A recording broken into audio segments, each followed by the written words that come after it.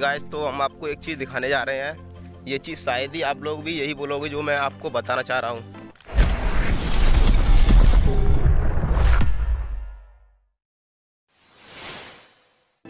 Hey guys welcome back my new blog so दोस्तों, आज मैं आप लोगों को अपने यहाँ का पूरा एरिया दिखाने वाला हूँ।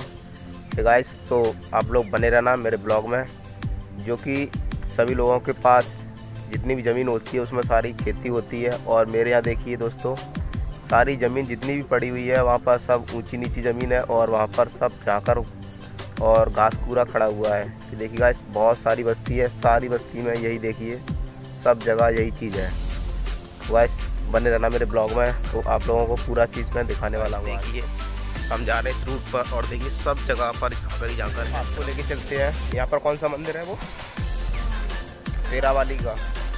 तो आप लोगों को शेरावाली के मंदिर पर लेके चलते हैं। हमारे यहाँ पर पेड़ में यानी जैसे बेड़ वाली माता बोलते हैं सिकोबाद में, वैसे ही यहाँ पर भी है। देखिए दोस्तों, किस तरीके की जगहें हैं यहाँ पर। ये देखिए। ये देखिए, बीच में कितना सारा फ़ील्ड पड़ा है, और यहाँ देखिए कितनी ऊँची ऊँची चट्टाने हैं। ये देखिए, साइड देखिए कितनी ऊँची चट्टाने हैं, और जो आप लोगों को वहाँ झंडे दिख रहे हैं, शायद नहीं दिख रहे होंगे अभी, क्योंकि उस तरफ़ से सूरज पड़ रहे हैं ना, इसलिए। ये देखिएगा इस ये चढ़ाई कवर कर रहे हैं अभी हम।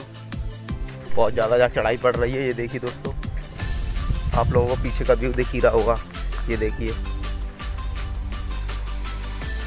देखिए, हम आ चुके हैं अब सबसे ऊँची चट्टान पर। पानी की टंकी है यहाँ पर। ये देखिए, इसका समर चल रही है।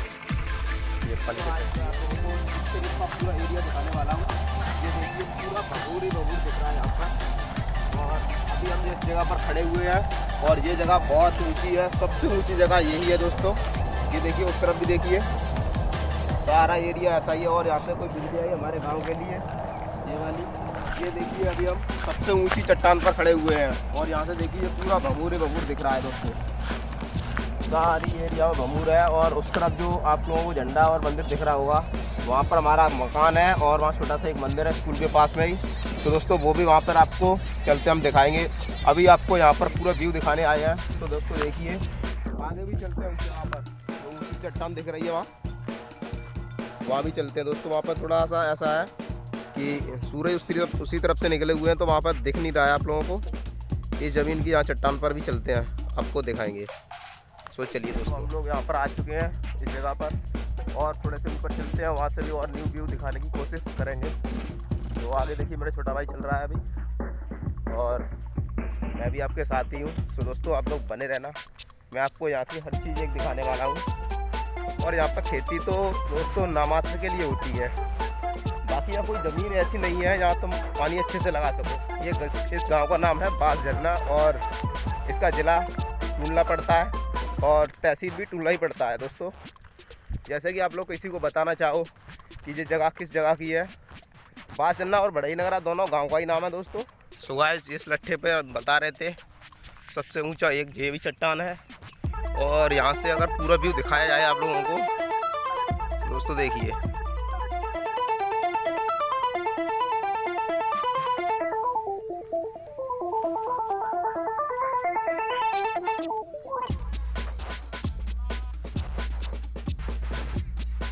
और चलते आगे और नीचे का व्यू दिखाने की कोशिश करेंगे दोस्तों। यहाँ पर देखिए कुछ लट्ठे तो काफ़ी ऊँचे हैं और कुछ लट्ठे बिल्कुल नीचे हैं। ऐसा लगता है कि ज़मीन पर रखे हुए हैं तार दूर से अगर देखा जाए तो, दोस्तों ऐसा नहीं है पर लट्ठे प्रत्येक जगह लगे हुए हैं। गाइस तो हम आपको एक चीज़ दिखाने जा रहे हैं। ये चीज़ शायद ही आप लोग भी यही बोलोगे जो मैं आपको बताना चाह रहा हूँ। ये जो ज़मीन दिख रही है आप लोगों को नीचे ये ऐसा लगता है जैसे कि यहाँ पर कोई गंगा बहती हो पहले। पर मेरी सोच में आज तक तो ऐसा नहीं हुआ है दोस्तों, जब से मैं हूँ यहाँ पर। और गाछ देखिए, यहाँ पर थोड़ी अब खेती भी दिखी है मेरे को, जो यहाँ पर थोड़ी ज़मीन वैसी है एकदम सीधी तो वहाँ पर थोड़ी ज़मीन भी है, ये देखिए। ये सिर्फ़ ज़मीन इतनी ही दिखी है मेरे को। अभी तक यहाँ तक और तो सब जगह मूझ खड़ी है कहीं झाँकर खड़े हैं कहीं कुछ भी खड़ा है। यहाँ देखिए, एक कूप लगा हुआ है, वो भी करब का है।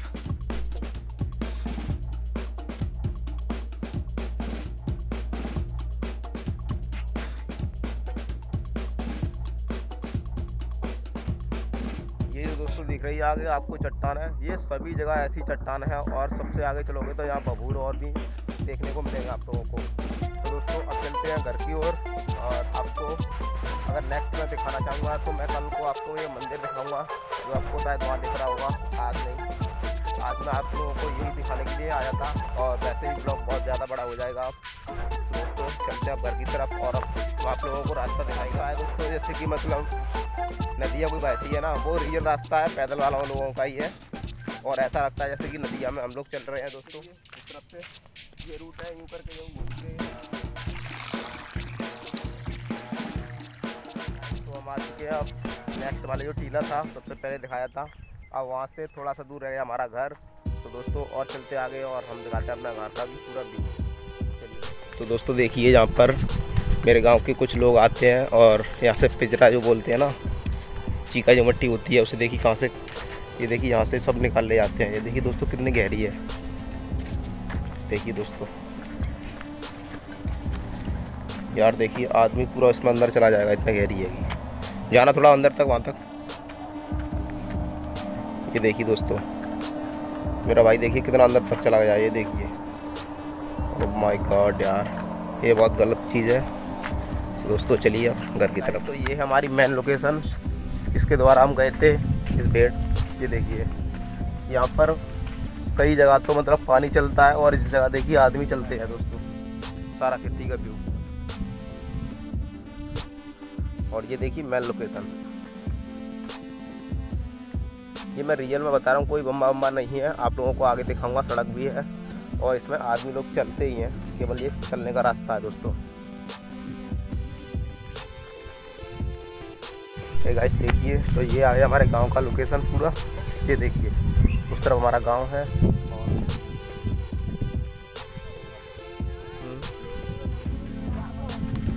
हे गाइस तो दोस्तों, देखिए, घर पर आ चुके हैं। तो आज का वीडियो यहीं पर समाप्त करते हैं और नेक्स्ट वीडियो में मिलेंगे। तब तक के लिए बाय बाय